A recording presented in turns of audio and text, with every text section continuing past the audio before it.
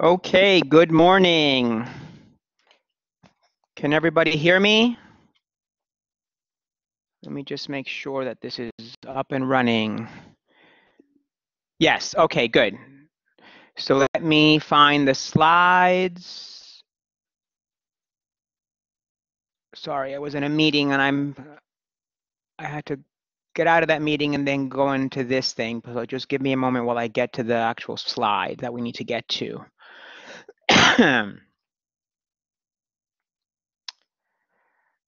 okay, so we were talking about sickle hemoglobin. So as I mentioned, there are many variants of hemoglobin in the population.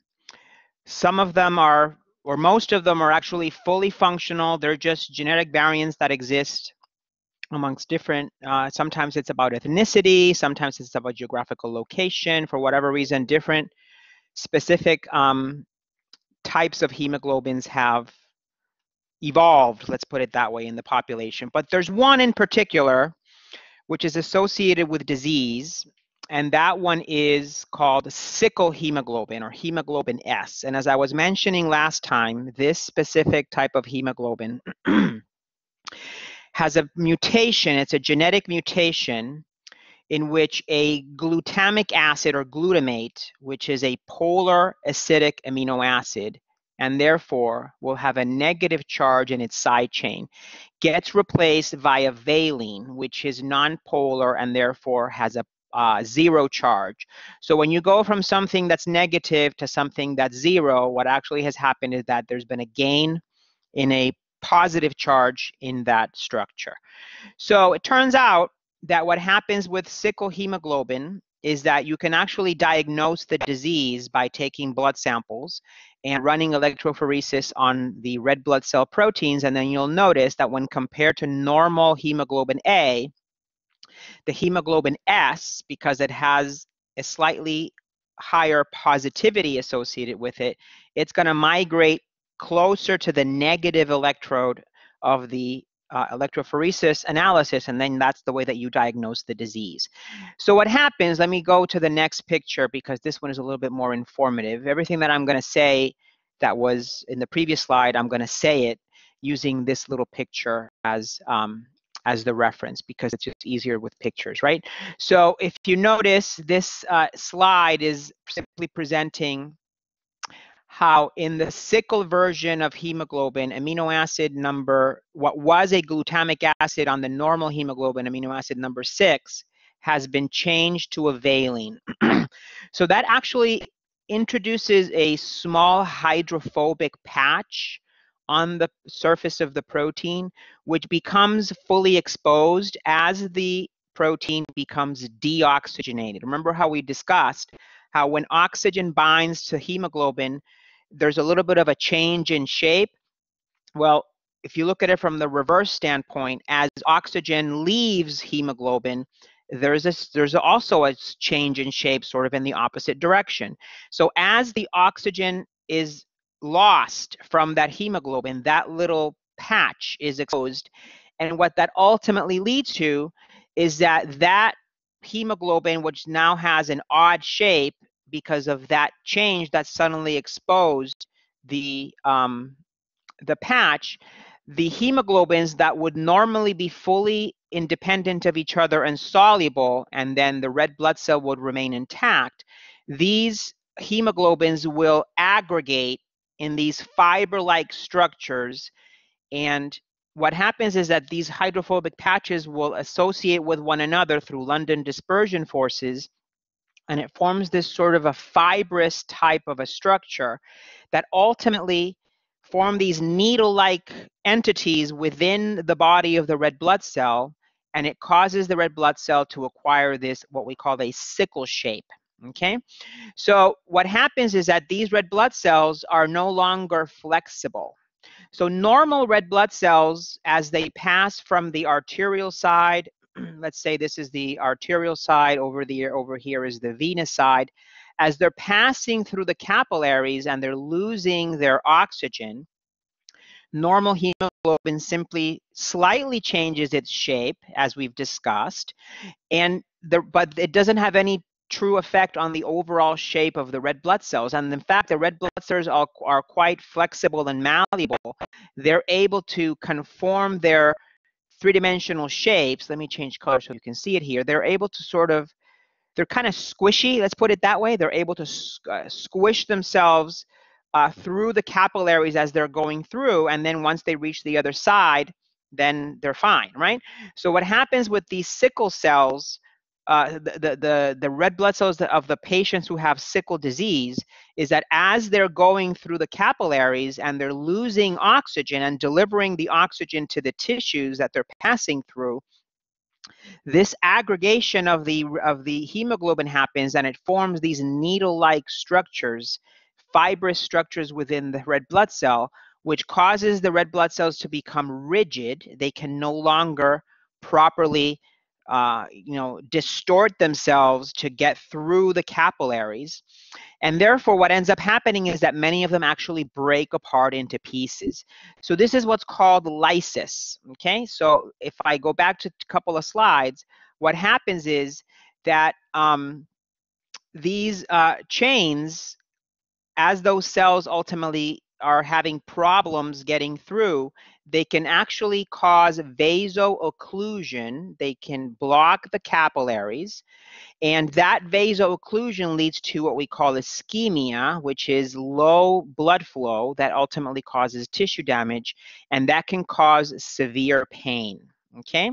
So as those sickle red blood cells are getting backed up, if you will, in these capillaries, um, they are also prone to lysis, and once those cells lyse, we call that hemolysis, then they are ultimately leading to uh, what we call sickle cell anemia. So a sickle cell anemia is a disease that is the, pretty much the hallmark of this particular uh, genetic mutation. So what happens is that in sickle cell, there are two sort of variants of the disease it turns out the defect is actually in the beta globin protein. So it's actually a genetic mutation that's coming from the beta globin gene. Now, unfortunately, we're not going to get to, because of the time constraints that we have, we're not going to get to talk about uh, genetics and genetic material and DNA and RNA. I'll give you a brief uh, overview. Every single protein that your body makes for whatever function its uh, recipe, if you will, is encoded in your genes. So a gene is nothing other than a formula to make proteins. The only reason you have genetic material is to make proteins because it's actually the proteins that are carrying out all the ultimate functions that are encoded in those genes. So the person who has sickle cell disease is carrying a defective beta globin gene. Now, as we know, we all have pairs of chromosomes. Half of your chromosomes, which is where all your genes are contained, half of them come from your mother, half of them come from your father. So if you happen to carry a defective beta globin gene from one of your parents but not the other, that means that 50% of your hemoglobin will be normal. You will have 50% of hemoglobin A, and then the other 50% is hemoglobin S, because this particular gene is what we call a uh, codominant expression, meaning that both genes that you carry from both of your chromosomes that carry that gene, both of them are simultaneously and what we say co-dominantly expressed. So if one chromosome is carrying a normal hemoglobin A, the second chromosome is bringing in hemoglobin S, that means that half of your hemoglobin is fine. It's the other half that's not fine. So when that happens, the disease is much less severe. We call it sickle cell trait. So these patients suffer from much uh, less severe disease. They do not have as many issues with uh, hemolytic anemia. Their pain uh, level is not that high. Um, in order to help with the disease, these patients have to be uh, typically very well hydrated. They need to intake a lot of water because that ensures much more uh, blood flow through the tissues that helps with the cat with the red blood cells getting from point A to point B as they travel through the capillaries. It lowers the severity of the disease. So if you have sickle cell trait, meaning only 50% of your sickle of your of your hemoglobin is sickle hemoglobin, then the disease is not as severe. However, if you happen to be that unlucky individual in which both of your parents are carriers of a uh, sickle cell of, of a sickle hemoglobin gene, and when they marry and have children, the child ends with both of the defective genes, then in those cases, 100% of the hemoglobin in those individuals will be sickle cell uh, sickle hemoglobin. So they ca- they suffer from the full-blown disease, which is at its maximum expression, which we then refer to as sickle cell anemia. Okay, so much more severe, much more frequent episodes of these hemolytic anemic attacks and painful vaso-occlusion crises. These patients, because they're technically or practically anemic for most of their life, they require frequent blood transfusions, chronic pain management. So this, of course, brings a whole other layer of issues. Any person who's in chronic pain management there's the whole uh, other discussion regarding potential for abuse, opio- opioid addiction. I mean, it's it's it's a big, complicated problem.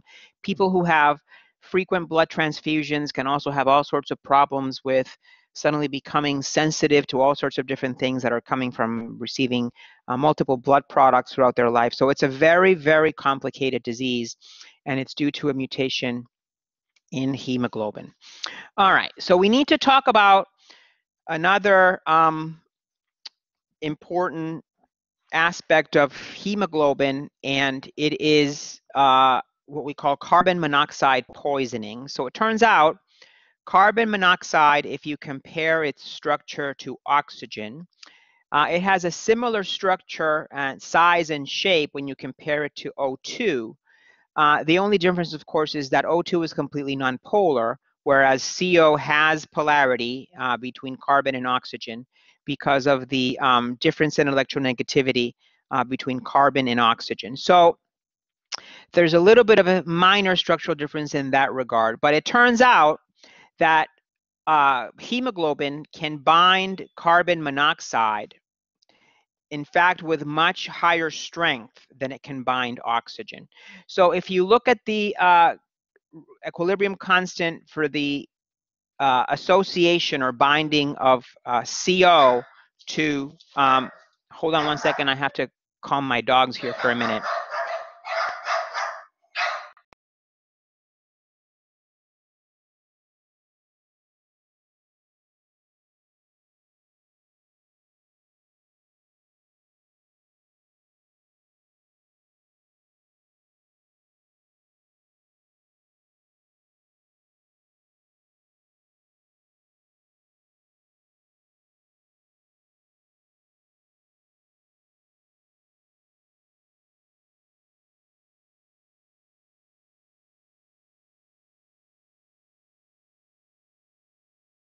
All right, I'm back.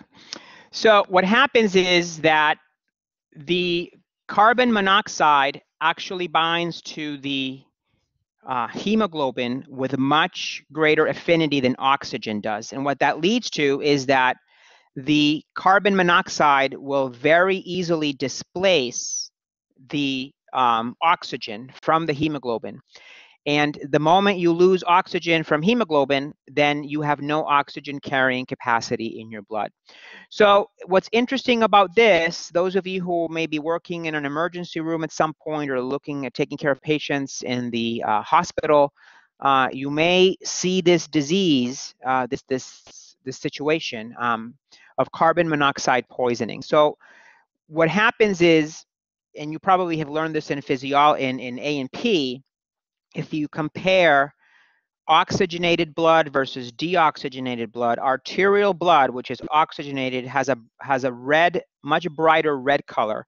If you look at the blood that's on the venous side, it's much more darker, much per, much more purplish in color. Well, it turns out that the uh, carbon monoxide carrying blood is far brighter in terms of its red color than the oxygenated blood. And it's so bright uh, red that it actually causes, as the blood is flowing through the capillaries, it causes, uh, particularly in certain portions of the body in the skin on the surface, it produces this bright cherry red color. And this is what this is the what we call the carboxyhemoglobin. So if I go back one slide, the uh, when CO binds to uh, hemoglobin, it's referred to as carboxyhemoglobin. Okay, so this is a, let me just do a little parentheses here. You need to be very uh, mindful of the terminology. There's oxyhemoglobin, which is oxygenated. There's deoxyhemoglobin, which is the one that doesn't carry anything. it's deoxygenated. There's carbamino hemoglobin. That's the one in which CO2 is covalently bonded to hemoglobin, not on iron, but in nitrogen atoms that are dispersed throughout the surface of the protein. And then now we have carboxyhemoglobin. Carboxyhemoglobin is when CO binds to the hemoglobin and produces this hybrid, this B shouldn't be there. Uh, the hybrid between, it's a covalent bond pretty much. The CO has bonded through its carbon atom, through the lone pair on the carbon atom, to the iron that's in that hemoglobin. And that's what produces a very bright cherry red color that can be seen in the tips of the fingers. It can also be seen in the lips of the patient. So not uncommon, or let's say it's not that common, but when you when when a patient comes in with carbon monoxide poisoning, um, all you need to do is look at their lips and the tips of their fingers. Sometimes it's so bright red you think the patient has lipstick on, and when you try to clean it off, nope, it's not lipstick. It's the very bright red cherry color of the, uh, and you already know this is this is very diagnostic of carbon monoxide poisoning. So the way to treat these patients is to put them on what we call a hyperbaric oxygen chamber in which they are given oxygen um, at slightly higher pressures than what's uh, than what's normal atmospheric oxygen, and the whole point of that is to displace the CO from the iron and replace it with oxygen. Okay. Um, in some cases, depending on how long the patient has been down, um, there's a recovery, but you know, in, in many cases, these are like these are these are most commonly uh, suicide attempts.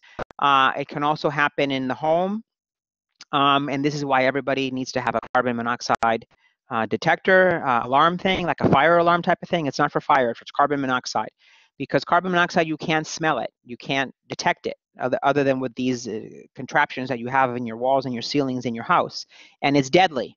So sometimes it's for whatever reason there's been a, an exposure unintended and the patients are found and again depending on how long it's time has been it's, it's if they're if, if they're going to recover or not. In other cases it's suicide attempts. Um, so may, you probably have seen in movies and TV shows and things of the sort, uh, people that take the exhaust of their car, they put a hose in it, they bring it into the car, they lock themselves up in the car, and that's the carbon monoxide that's coming from the incomplete combustion of hydrocarbons um, that exist in in, in regular uh, motor exhaust fumes. All right, so interestingly, this is just an interesting application of CO. It turns out that um, carbon monoxide also binds not only to hemoglobin, it also binds to myoglobin, which is a major uh, protein that exists in uh, skeletal muscle. And one of the, uh, the major function of myoglobin in skeletal muscle is to serve as a depot of oxygen, when muscle is doing all kinds of strenuous exercise and some oxygen can be stored within the myoglobin. Well, similarly to what happens with hemoglobin, when CO binds to uh, myoglobin, it actually acquires a uh, bright red-ish type of a color. So, you know, when you go to Target and, you know, not so often anymore, but all these meat markets and you look at this beautiful red meat, well, guess what? In many cases, that meat has been treated with carbon monoxide. Um, if you don't treat it with carbon monoxide, then it turns out the meat has uh, what, what some people may interpret or, or see as a less appealing color. So, you know, just because your meat is nice and red doesn't necessarily means that it's fresh. You need to look at the date, okay? Now, you can see, you can observe meats that's like this. And again, if it has not been treated with carbon monoxide, that meat is perfectly fresh, perfectly fine. So it turns out uh, it's this practice of uh, treating meat with carbon monoxide has actually been banned uh, in Europe and Japan, not so much in the United States. So again, when you're looking at the, at the beautiful meats that you may be looking at in a uh, shelf at the supermarket or wherever you're going, um, never mind the color. I mean, that makes it more appealing. That's the reason why they do it. What you really need to be looking at is the date because that's what truly tells you how fresh that meat is. All right, so now let's talk about some um, other proteins are very important physiologically. Uh, specifically, we're going to talk about collagen, we're going to briefly talk about keratin, and then we're going to talk about uh, immunoglobulins, which is the scientific term for antibodies. So collagen is the most abundant protein in the human body. Uh, about 30% of body mass is collagen. And uh, it turns out that, as we briefly mentioned previously, it actually is the foundation for all connective tissues within the body. So all of your tendons and ligaments, cartilage, bone, teeth, the underlinings of your blood vessels, the underlinings of your skin, and all of the framework of all organs and tissues, what holds it all together. Of course, each tissue has their own specific tissue specific cells that are you know, liver cells, heart cells, pancreas cells, kidney cells, whatever they may be. But they're all technically suspended, held together within a framework of connective tissue. Collagen is the primary protein that holds all of that together. So because it is a structural protein that must provide sturdiness and, and structure, uh, it's falls within the category of proteins that we've already sort of mentioned which are fibrous proteins. So remember, the ones that are sort of water soluble that can move around from point A to point B carrying uh, things or doing functions or you know controlling entry and exit of things from cells, etc. Those are all globular proteins. The ones that serve this structural uh, feature and function that must hold things together, must hold everything in place to ensure structural integrity, these are what we call fibrous proteins. So these fibrous proteins, as we've discussed previously, have this rope-like arrangement because they have to have that type of a structure to provide that structural integrity. They are very, very strong, very, very resilient to degradation. They're highly water insoluble. Again, imagine if all these proteins that are holding everything together were slowly dissolving in water, we'd be a massive gelatinous blob that we couldn't hold ourselves together. So these proteins need to provide that very sturdy framework to hold everything in place. And because of that, then they have to be resistant to chemical change because imagine again if all of these proteins that are holding everything in place were suddenly changing uh, chemically with exposure to God knows what is entering the human body, then that wouldn't be a, a successful, uh, you know, structural feature. So it turns out if you look at collagen, it has a relatively unique composition of amino acids. Uh, that is what provides this, this very important structural feature.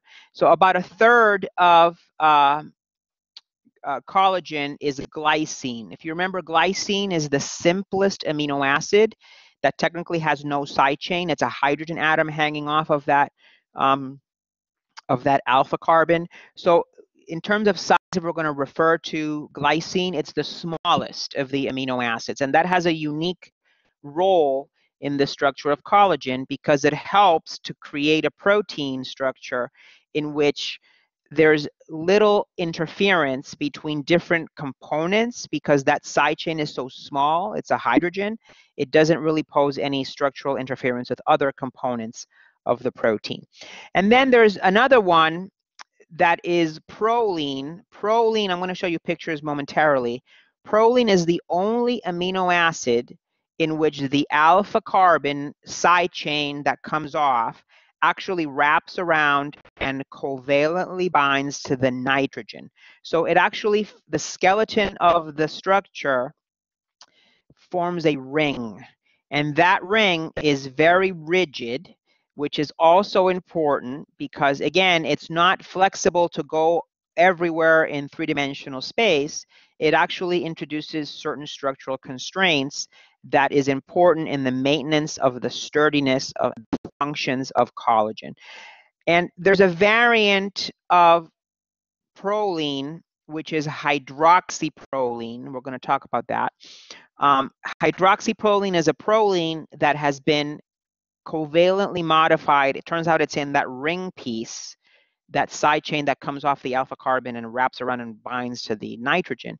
There's an uh, there's a hydroxy, i.e., an alcohol, an OH group that's introduced into that uh, cyclic or ring form of a side chain. And as we're going to learn, this is vitamin C dependent. So collagen, uh, in order to be fully and functionally formed, requires that we have vitamin C available. This is why vitamin C is so important. We're going to talk about diseases associated with a lack of vitamin C. Amongst them are deficiencies in collagen structure. And we call that structure hydroxyproline. So if you look at the percentages, uh, about 25% of collagen is proline, and about just a little bit under half of that is hydroxylated in the, in the side chain. And then the remaining 10 or so percent is alanine. I mean, there's other many other amino acids, but it's about 10%, which is significant. Um, if you uh, realize this doesn't add up to 100%, so there's many other amino acids, but about a third is glycine, about a quarter is proline in combination with proline, hydroxyproline, and then about 10% is alanine. Alanine is the second smallest amino acid. The side chain is a single carbon uh, side chain with uh, three hydrogens. It's a methyl group, okay? So there's also some very unique repeating sequences involving glycines with prolines or glycines with hydroxyprolines with sometimes something in the middle. Um, and that repeating pattern uh, is also important in the proper three-dimensional structure and three-dimensional shape that collagen ultimately acquires. So uh, we're going to go through the process of how collagen is actually biosynthesized.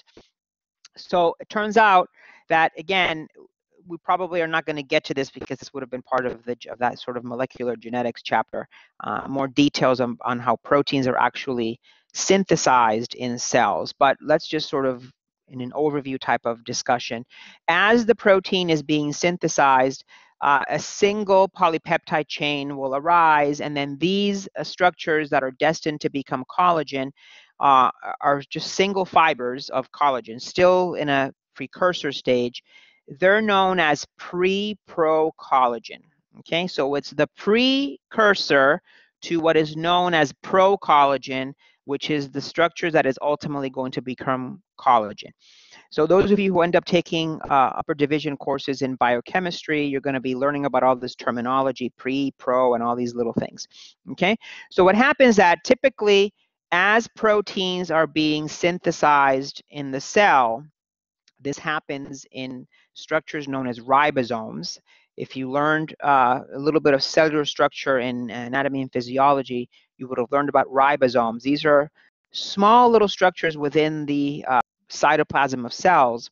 They're actually composed of a combination of protein and RNA. And um, that ribosome is the machinery that is responsible for the synthesis of proteins. So when proteins are synthesized, um, many of them have to be modified after they've been initially synthesized. And that, what we call post-translational modification or post-synthetic modification, happens in the endoplasmic reticulum, also known as the ER, not emergency room, but endoplasmic reticulum. So these polypeptides that are meant to become collagen, the initial proteins that are made is called pre-pro. That enters the endoplasmic reticulum where it's ultimately modified.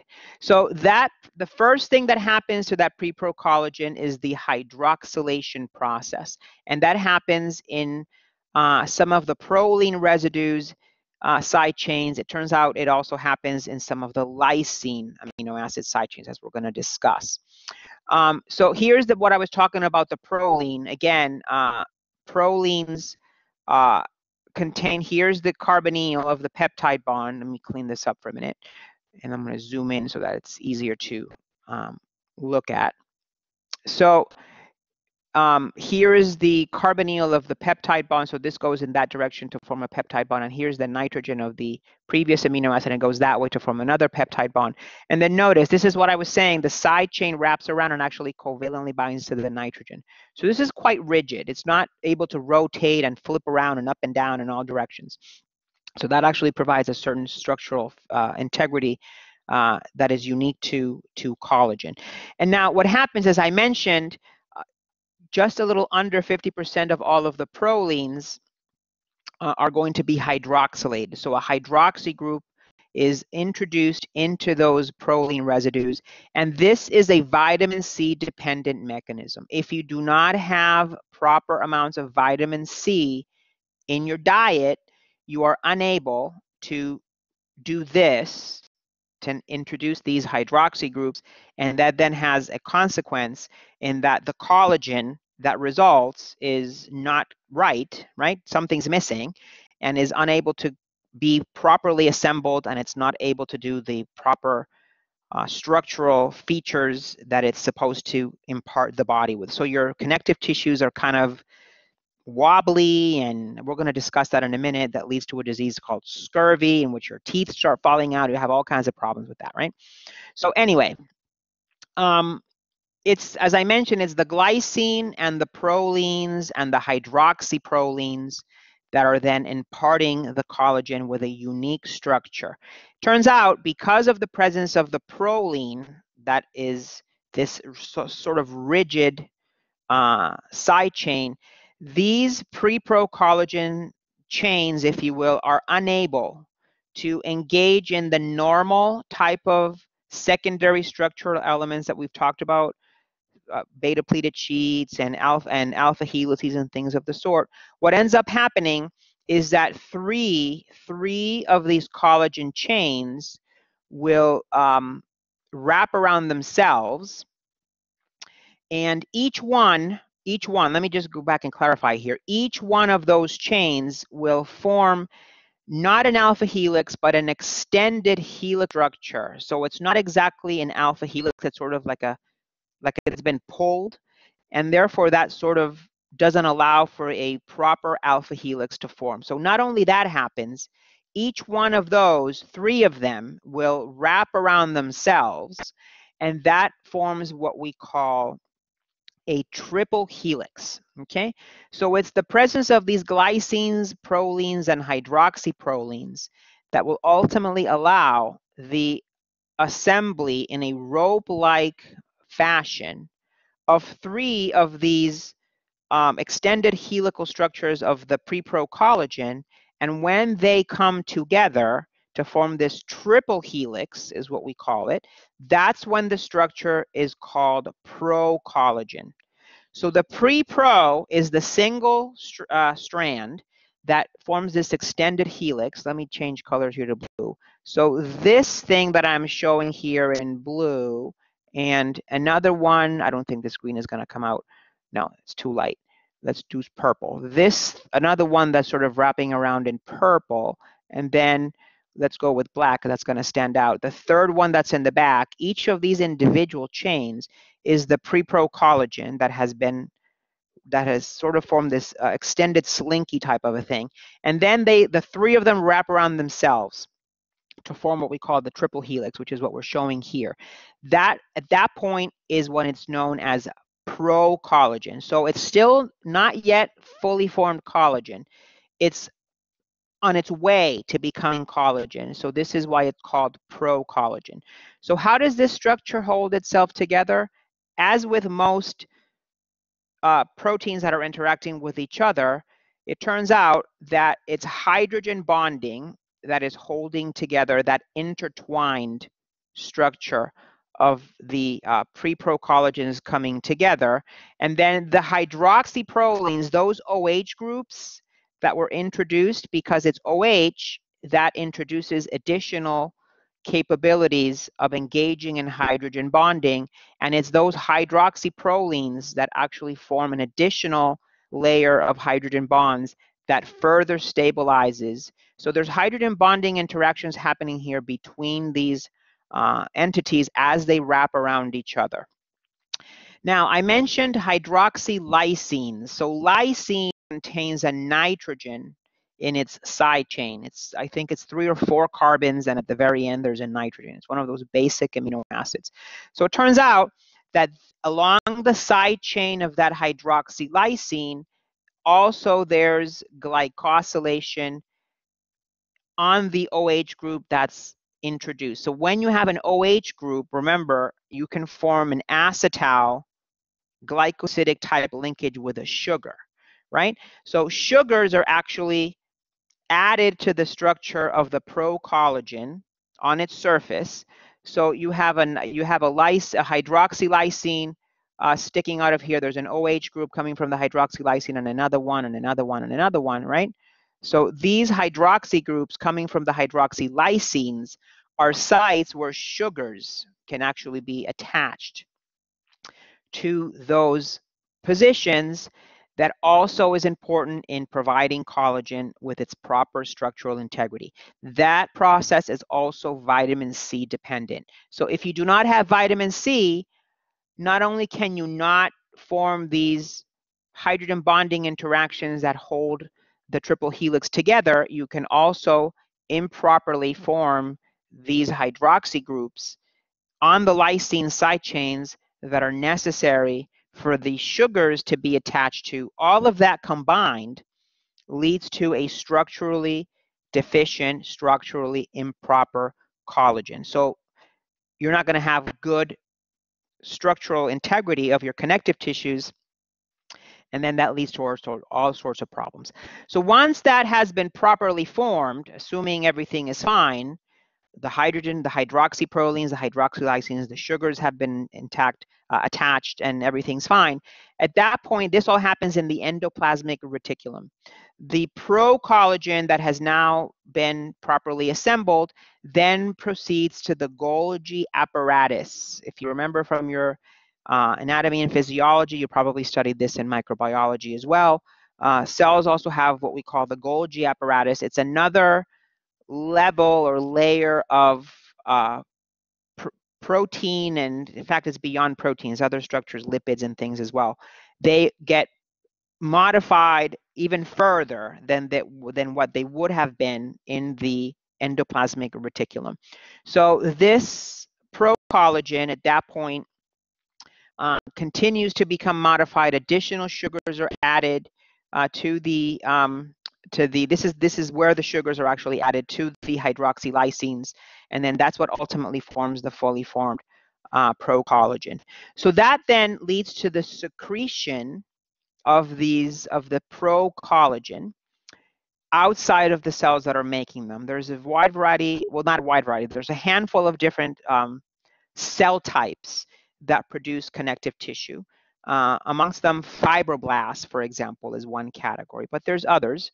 These are cells that are all over the body uh, that are, again, integral components of all connective tissue. They're there to sort of uh, help and make these types of structures that are uh, important to maintain uh, the structure of our connective tissues. So this, this procollagen that's secreted, this now happens after the fact, after it's been excreted from the cell. Uh, it has um, these loose ends that we call that are unable to provide the final structural integrity that the collagen will ultimately need. So these structures are known as tropocollagen, tropocollagen. Uh, once its loose ends are removed, these loose ends need to be removed. So this is now what's called, after they've been removed, that's what is known as tropocollagen. And then these tropocollagen structures become the building blocks to ultimately construct and build these much larger aggregates, which we call fibers or fibrils, that then ultimately provide collagen with its, its final structure, okay? So the tropocollagen um, is further modified by an enzyme that exists in the extracellular space the enzyme is called lysyl oxidase. And what it happens is that, that those hydrox, some of those hydroxylysines um, sorry, some of the lysine uh, side chains. There's a reaction that happens uh, involving the nitrogen that's at the end. There's what's called an uh, a uh, an oxidation process. Um, it's it's a uh, I've, I've, the name suddenly escapes me, but involves the nitrogen. Um, I'm trying to remember the name. Um, anyway, it's an it's an it involves also the lysine ends in NH3 plus, and then it turns out that it's going to end up forming a carbon doubly bonded to a nitrogen. Let me just write it over here. So the chain is ultimately having a CH2NH3 plus. plus, and what the lysyl oxidase does is that it converts this to a CH doubly bonded to a nitrogen, okay? So this is done by the lysyl oxidase. And ultimately this bond here is removed and you end up with an aldehyde at this end of what was a lysine. So this is what it is saying here. The lysyl oxidase will oxidize a portion of terminal amines to aldehydes.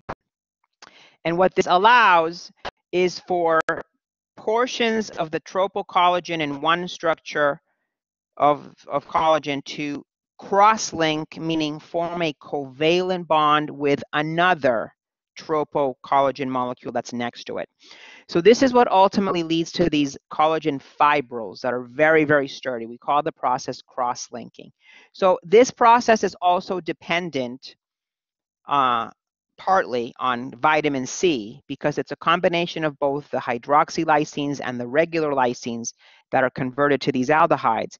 And if you don't have the hydroxylysine, then you're going to have issues with the proper cross-linking of the collagen. That's yet another layer that produces a defective collagen. So here's sort of in picture form, probably should have jumped to this one before giving you all that um, narrative there. So again, this is the precursor chain. This is what we call the pre-pro, pre-pro collagen that ultimately goes through the endoplasmic reticulum and then goes through the Golgi, right? And it goes through all this post-translational modification. And then it gets excreted from the cell as the pro-collagen, but then these loose ends that are not properly interacting with each other need to be chopped off and removed. And that's what then produces the tropocollagen. Here they're referring it to as the collagen molecule. Same thing, tropocollagen, right? Tropocollagen. So this is when the lysyl oxidase comes along and these guys will cross-link with each other and will assemble. So here, we, this is now zooming out. Each one of these little strings here that you see is one of these guys, right? So there's many, many, many, many of them that will assemble and they will cross-link with each other to form what we call a collagen fibril. Now, many, many, many of these collagen fibrils will ultimately aggregate in this much larger structure, which is what we ultimately call the collagen fiber. So the fiber is multiple fibrils that have cross-linked with each other.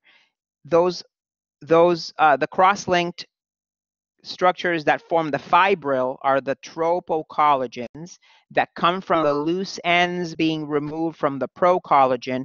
The procollagen comes from the pre-procollagen that was synthesized within the cell.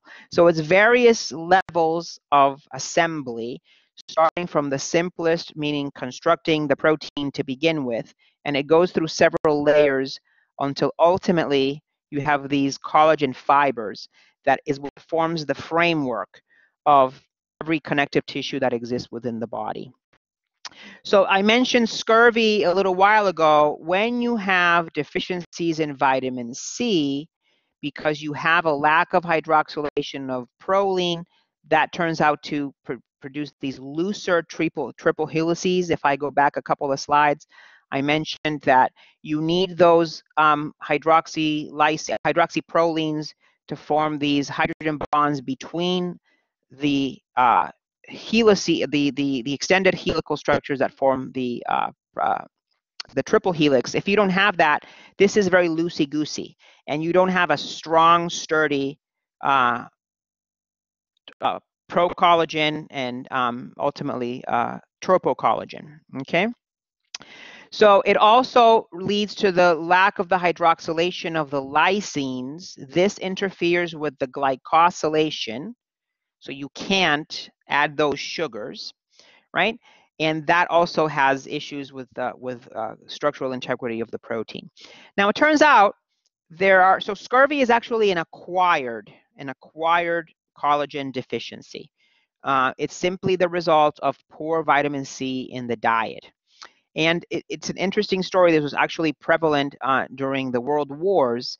Um, I think this was discovered actually this whole issue on during the Second World War. Scurvy has been known forever, but uh, it turns out that the the sailors in the in the that were for months and months at a time in in the ships um, during the war, they would develop scurvy. They their teeth would fall out, and then they wouldn't heal properly because you don't have good good collagen and whatever. And then it was discovered that, of course, if you give the patients, uh, the patients, the sailors, um, uh, citrus fruits like limes and lemons and oranges and things of the sort, particularly lime and lemon juice on a daily basis, that would um, cure their problem. The, the scurvy would go away. It was because these fruits have large amounts of vitamin C, and then that kind of solved that problem. So um, there's other genetic diseases, genetic disorders associated with collagen. One disease is called Ehlers-Danlos syndrome. This is one among several uh, genetic disorders of collagen that we know of. And the problem with this one is that the enzymes that are responsible for removing the loose ends in that uh, pro-collagen are actually deficient. They're non-functional or they don't properly function. And uh, therefore, the proper assembly of collagen um, is is not is not so the I'll put it this way the assembly of collagen is not proper. It, it, occurs improperly and that leads to problems with collagen assembly and ultimately collagen function. So because the fibrils and the fibers are uh, improper due to the presence of these extra pieces this is and this shouldn't be here. So if you suddenly have this whole thing and ultimately this whole thing having these extra pieces that are kind of all over the place and they shouldn't be there. So this fibril is not as strong and sturdy as it should be. The ultimate collagen fiber is not as strong and sturdy as it should be, and that causes all sorts of problems um, in the in the uh, assembly and functions of collagen. And then the last one is uh, there's another disease called osteogenesis imperfecta, um, which is called brittle bone disease. And this is actually a uh, another congenital de uh, defect. It's actually on the collagen uh, gene itself.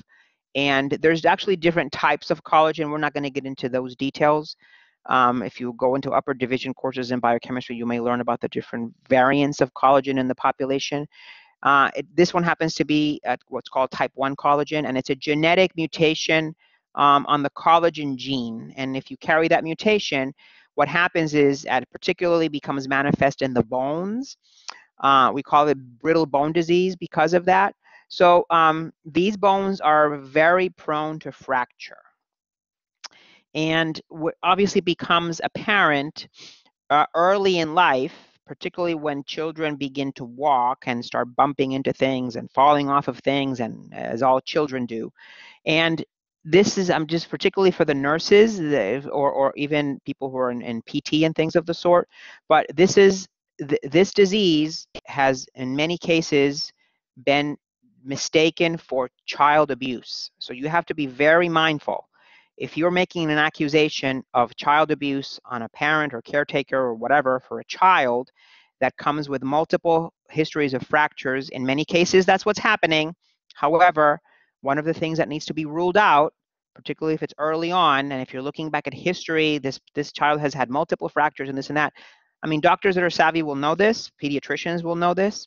But again, osteogenesis imperfecta is could be a diagnosis for a child that has multiple fractures. It's not necessarily that the child is being beaten or abused or anything of the sort. It's because it's simply they have a genetic disorder in which their bones are uh, brittle and they're prone to um, to fracture with, with just a minimal uh, impact. All right.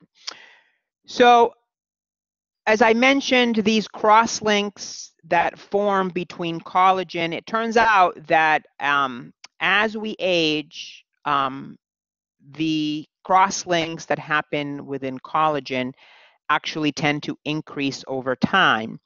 And that actually makes the collagen a little bit less elastic. So as we age, our connective tissues, our skin, and anything that has connective tissue will actually ultimately become less elastic and, and more rigid, if you will.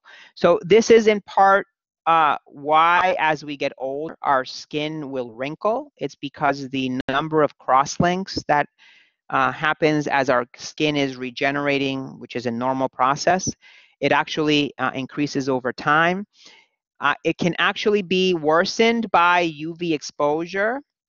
So those people that love to, uh, not this summer, right, but um, love to go to the beach and sit there for hours and hours and hours getting their sunburns and things of the sort. It doesn't have to be at the beach. You can actually go to a tanning salon and do this as well. Any uh, exposure in excess, as with everything in life, uh, to uh, UV radiation, which is one of the major things that's coming from sunlight, that can uh, worsen the process of the cross-linking of the collagen.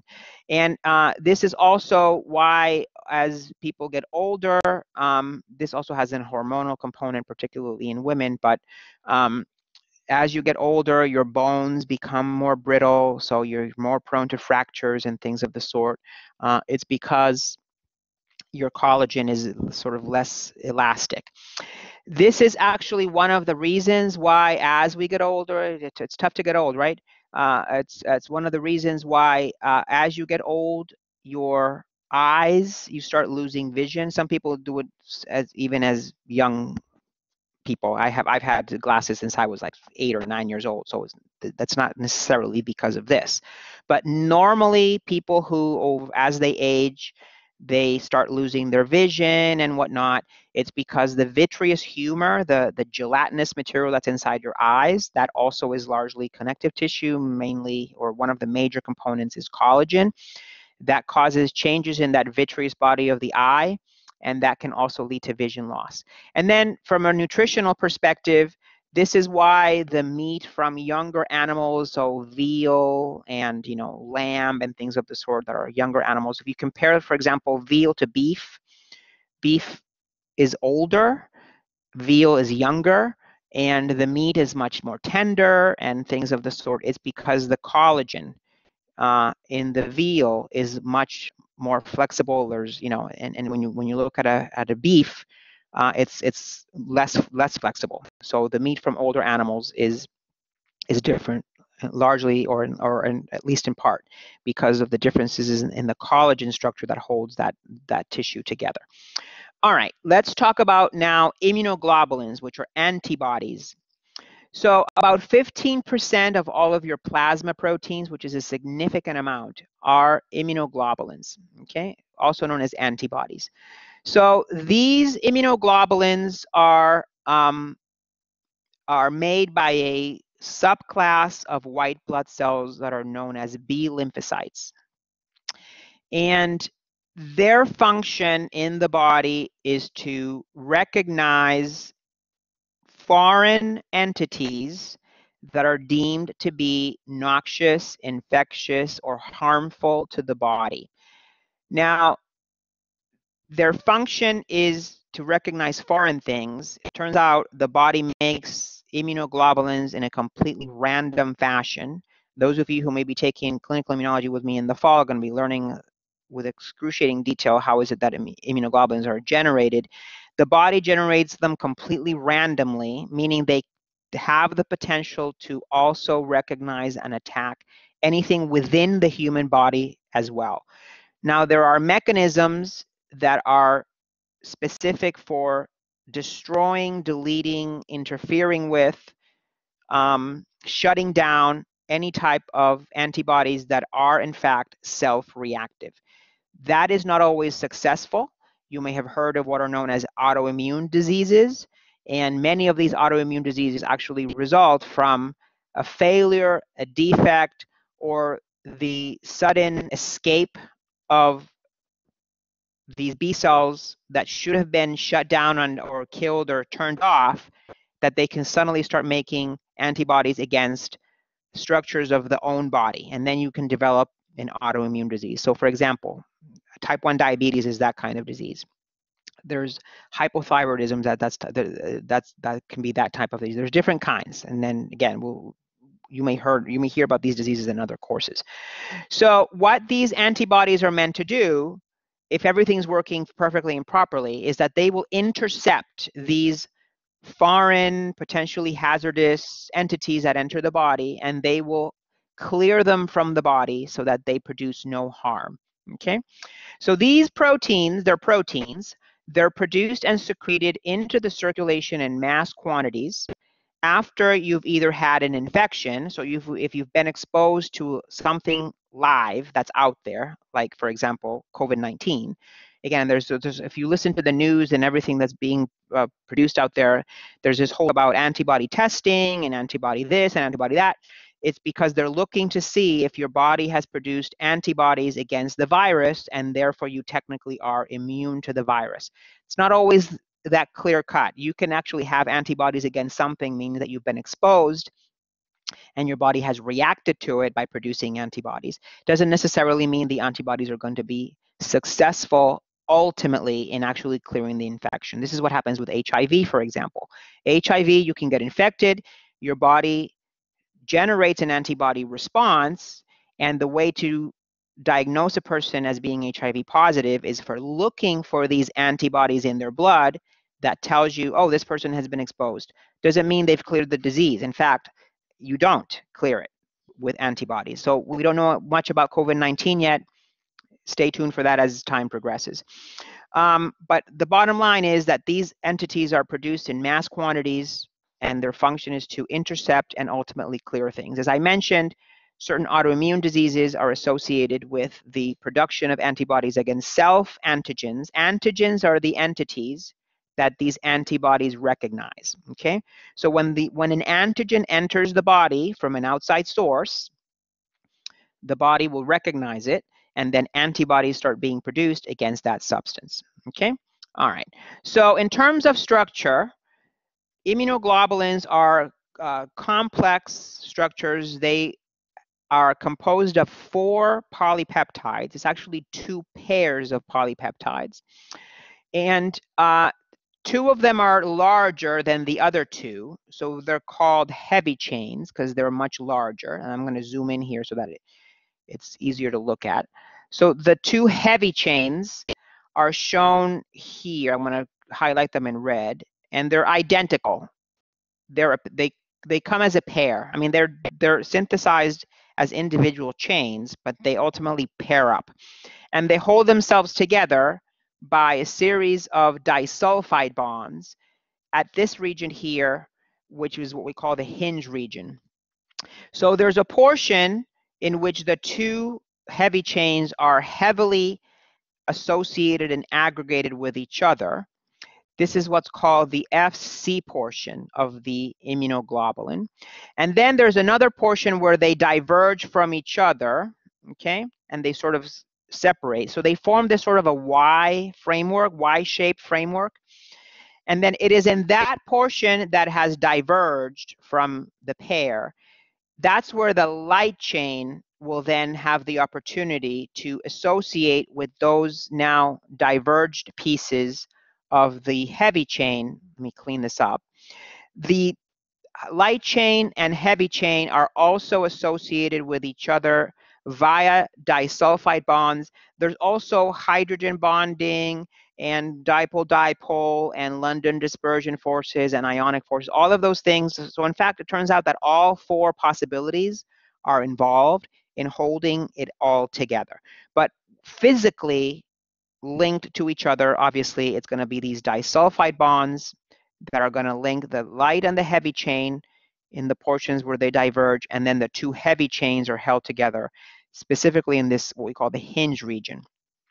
This portion where the light and heavy chains are um, bonded to each other, this is referred to as the FAB or FAB regions of the amino acids of the um, of the immunoglobulin. So we have one FC portion and two Fab portions. Again, the reason why they're called like that are beyond the scope of this course. This is just immunology lingo, just FYI. All right, notice how the two heavy chains interact with one another, but the two light chains do not. Each light chain independently interacts with one of the heavy chains through that region of the fab that ultimately forms the fab portion. Now, the very tip of the fab portion up here this is where the antigen binding site is. That's where the antigen interacts with the protein. So you have your, your antigen, I'm scribbling here, this is technically the antigen. It's gonna bind at this specific region.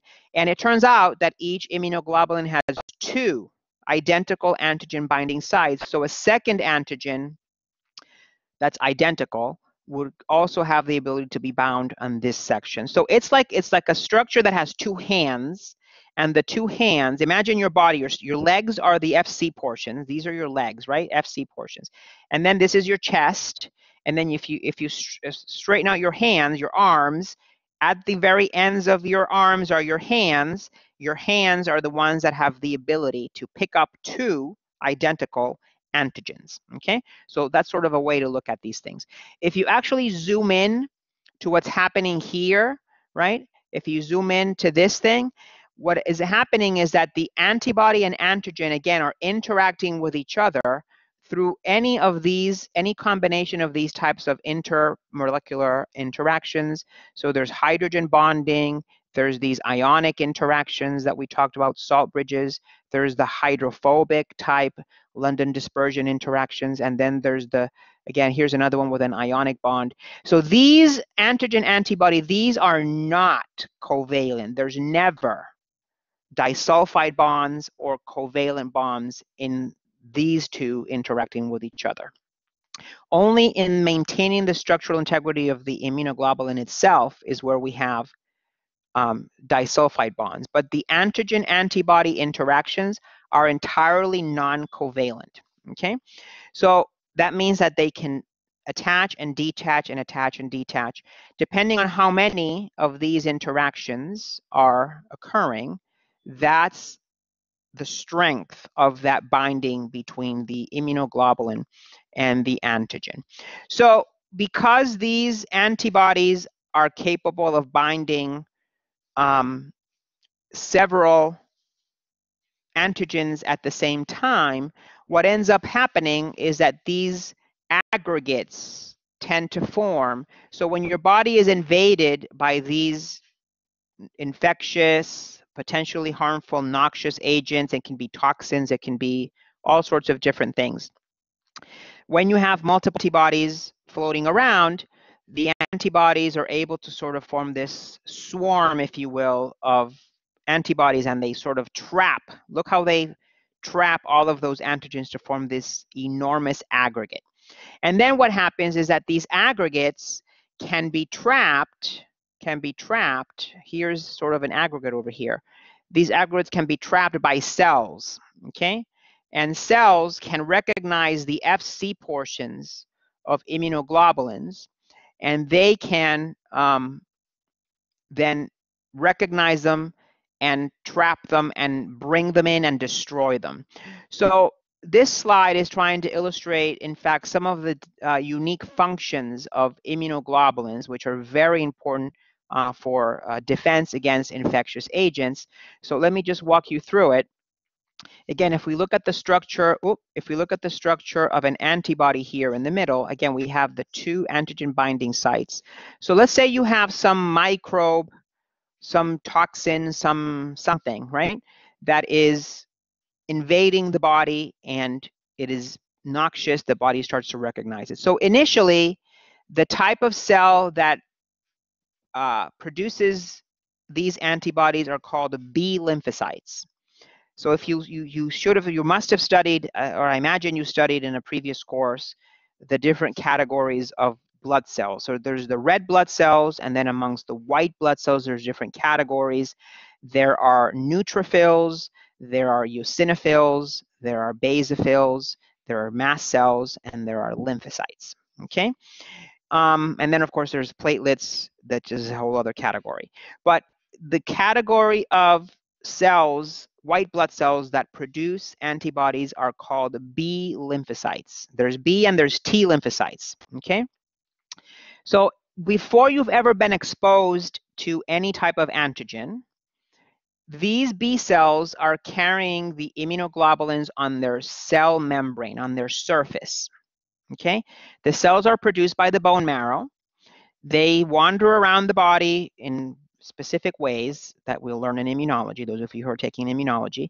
And then, if and when they find the antigen that they're meant to intercept, that's the point where there's an initial interaction between that surface immunoglobulin and that antigen. So what happens is that this is internalized by the cell. The cell is then completely activated because it's told, I found my antigen, I need to turn this process on, I'm going to start mass producing the immunoglobulins. So two things happen. A pool of what we call memory cells arise, and those cells are going to be there for the next time you get exposed. So this is why immunization, i.e. vaccination, is so important in the population. Because if you give somebody either a live attenuated antigen or the portions of an antigen that are known to elicit a strong immune response, that elicits the production of memory cells such that when you get exposed to the real thing in a real life situation, you are already protected. Not only does that happen, but in addition to the pool of memory cells, a set of what we call plasma cells are produced. And these are the ones that secrete antibodies and mass produce them. So after immunization, this also happens with a real infection, right? But what happens is that many infectious agents are deadly. And if you were to just run the risk and go out there and get the infection, you, you could die from the infection, right? If you're given a vaccine, you can then have your immune system produce the memory cells that are going to save you the second time, and it produces those plasma cells that are going to mass secrete these antibodies into your bodily fluids. And again, the second time you get exposed, you're going to have not only the memory cells that are going to come in and produce even more, you already have boatloads of antibodies floating around in your bodily fluids that when that antigen comes in, it gets intercepted, intercepted. If you go out there and get an infection and you've not been immunized, you're on your own. The body is starting from scratch. There's no memory cells, there's no floating immunoglobulins good luck with that, right? So this is why vaccination is so important. Anyway, once you have these immunoglobulins floating around, these entities will be coded, completely intercepted, and that's what then allows cells to come along and destroy. So if you don't have these antibodies preformed in your body when you get exposed, it's much more difficult to get rid of those infections. Now, it turns out there are certain immunoglobulins that are ultimately find a home on the surface of uh, one of these classes of cells that are called eosinophils. And these cells are very important in intercepting a particular type of microbe that are also very important in eradicating them. And then just to give you a little bit of information about how allergic responses actually happen, depending on the antigen, depending on how you respond to it, depending on how you were exposed to it, and depending on your genetic makeup. It turns out that certain immunoglobulins are produced that end up finding a home on the surface of a class of cell known as mast cells.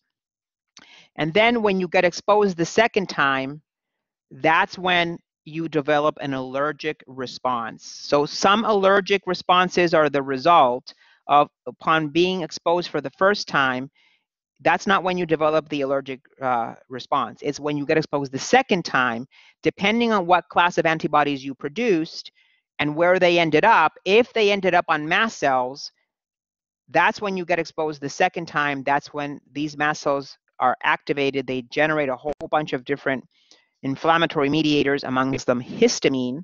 That's where you take antihistamines for allerg uh, allergic responses. And um, so an allergy can be the result of that type of an exposure. So when you get stung by a bee and you end up being allergic to bees, it's not the first time. The first time this happened and this happened, and those antibodies ended up on mast cells. Why? Entirely unclear. It's a combination of all those things that I've said.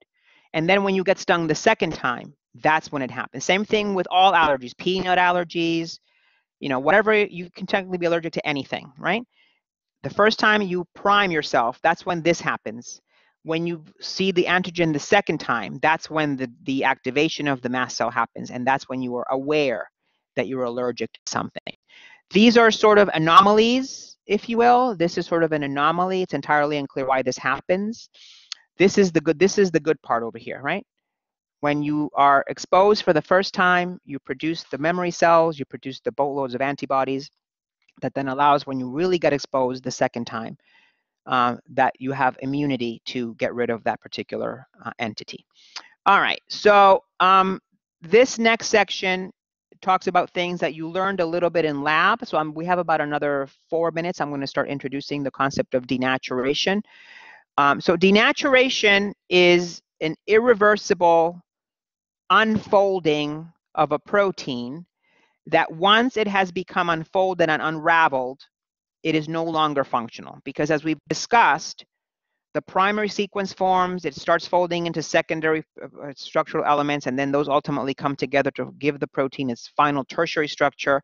Any additional modifications that need to happen will happen. That finally gives its protein its final uh, structure, which then gives it its final function. The moment structure is lost, function will automatically go with it. Okay, so because denaturation involves disruption of quaternary, tertiary, and secondary structure, that will ultimately impede the protein from being properly folded and the protein cannot come back. Turns out refolding of proteins is not possible because since proteins are such enormously large structures, as they are being constructed, there's a whole other set of proteins, if you will. This is like the chicken and the egg type of thing, right? There's a whole other set of proteins that are part of the machinery that are associated with protein synthesis that whose function is to assist other proteins with them folding properly and acquiring their proper three-dimensional shape. Once that's done and the protein has gone about its way, these assist proteins we call chaperones, molecular chaperones, whose function is to help with the folding of proteins. Once they're done, that protein is folded. If it unfolds, it's it's done. It can do no long it can do no no more of its function. Notice that primary structure has nothing to do with denaturation. It's only when it unravels. The primary structure remains. It's the sequence of amino acids. But when you disrupt quaternary, tertiary, or secondary structure and the protein unravels, that's when it's become denatured. So what can cause denaturing? Well, it can be a wide variety of different chemical agents that interfere with all of the interactions that are responsible for holding the protein together. It can actually also be a physical process that it's physically destroyed by a variety of different ways. Again, anything that interferes with all of these non-covalent and covalent interactions that maintain secondary, tertiary, or quaternary structure. So what are they? Chem, we're talking about acids or bases, anytime you change the hydrogen ion concentration, protons, either adding or removing, that causes changes in the charges on the surface or within the confines of a protein, that causes it to completely lose its shape. Metal ions can trickle into the structures of proteins and completely unravel them. Soaps and detergents do the same thing. Oxidizing, reducing agents, if anything is oxidized or reduced, changes its structure, it changes its ability to interact with other things. That automatically inhibits the ability of those entities to perform their job. And then, of course, physically, you can heat them, you can grind them, you can subject them to high uh, sound waves. That's going to completely make things vibrate to the point where they start, you know, destroying themselves, and that's going to lead to to um, to denaturation. Um, I just want to go back very quickly and mention about the chaperone proteins and the and the and the normal folding. These diseases you probably have heard of: mad cow disease, prion diseases, Creutzfeldt-Jakob disease. All of those have to do with chaperones that are disrupted that do not allow for proteins to properly fold In some cases, they actually fold improperly, and that's what leads to the diseases that we, again, become manifest as disease. All right, so it's 12:15. That's it for today. We'll continue with denaturation uh, next Tuesday. Remember, we have a quiz on Monday at 3:30, and I hope everybody had a have a great afternoon and a good weekend. And this is it for today. Thank you very much.